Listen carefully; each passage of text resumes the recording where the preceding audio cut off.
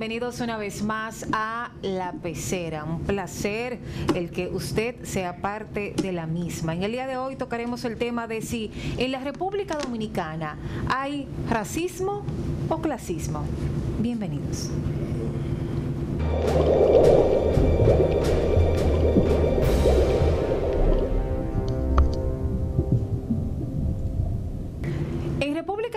Hay clasismo o racismo. Contamos con la presencia en esta oportunidad de Mario Hidalgo, productor de televisión, también empresario de eventos. También está con nosotros Ricky Cabral, presidente de Marketing Group y Brandworks. Bienvenido. Está con nosotros Ramón Cuello, connotado cronista, también presidente de la Asociación de Cronistas Deportivos de la República Dominicana. Manuel Núñez, conocido historiador, lingüista, ensayista, gracias por estar con nosotros. Y claro que sí, nuestro amigo Alberto Vargas, controversial, conocido locutor y uno de los integrantes del legendario Ritmo de la Mañana. Bienvenidos, el tema está servido. En República Dominicana, compañeros de mesa, ¿hay racismo o clasismo? ¿Qué opinan ustedes? No sean temerosos, ya estamos en el agua.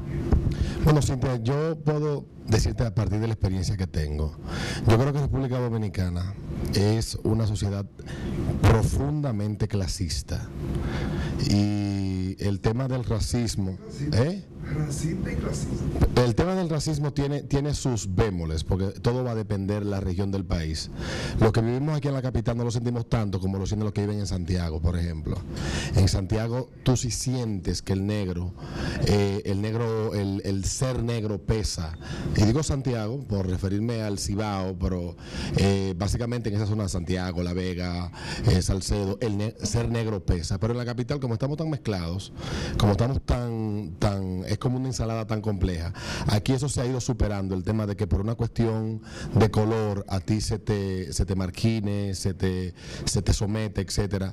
Y en el caso de, de la clase, eso sí tiene un peso específico, eso sí define si tú tienes acceso a un círculo determinado, a un lugar X, etcétera. Y, y eso lo, lo, lo, vive uno en, el, en los medios de comunicación, lo vive uno en, en, la, en los clubes sociales, que no es tanto del color que tú seas, sino al círculo al que tú pertenezcas.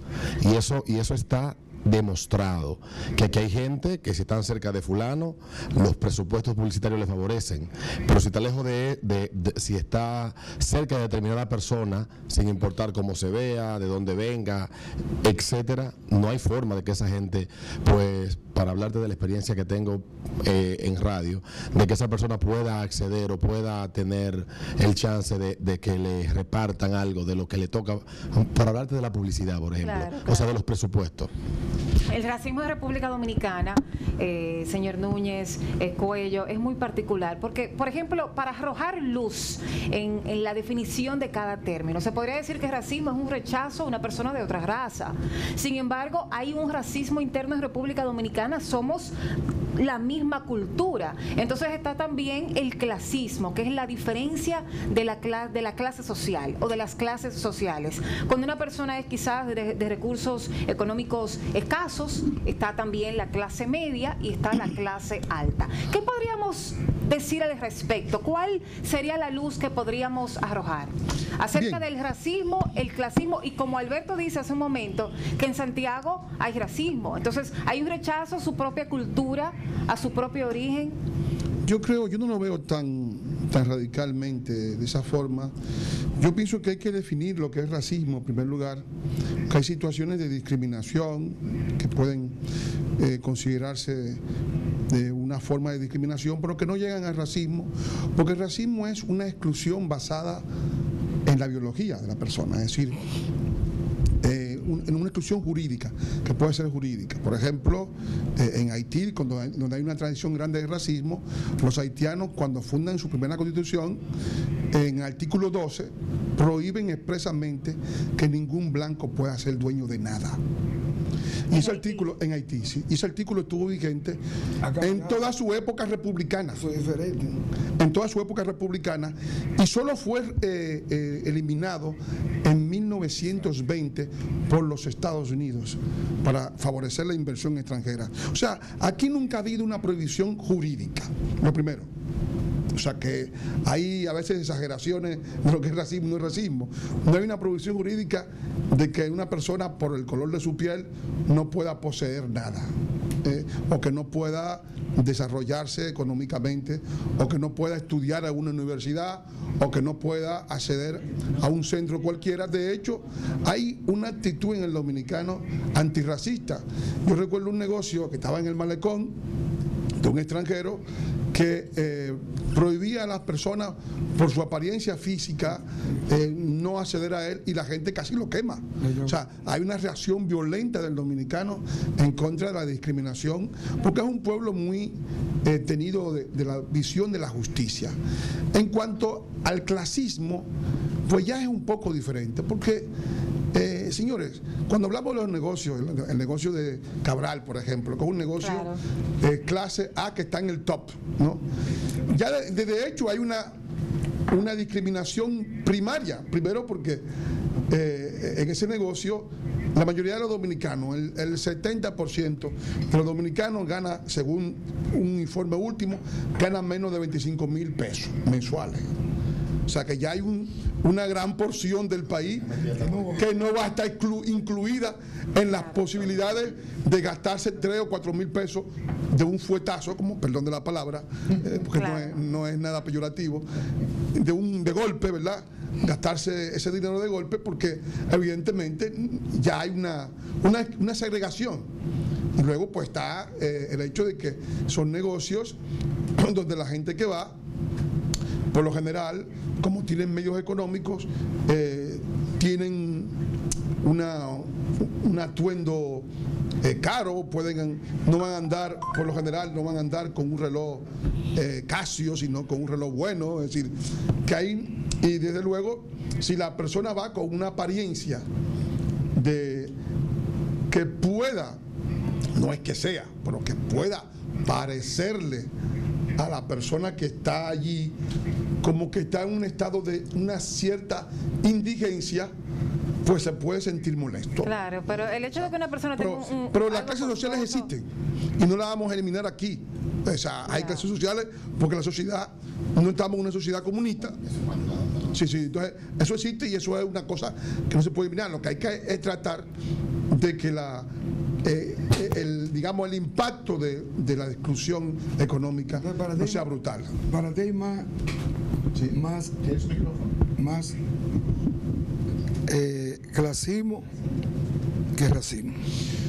Y claro, desde luego que Eso sí. que tú estás diciendo. Desde luego que sí, porque eh, en este país Yo creo que de los dos hay mucho.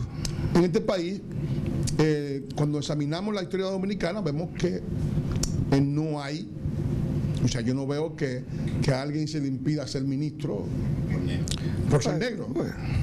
O sea, eh, el presidente anterior, el actual, el actual es un mulato, el anterior era otro mulato.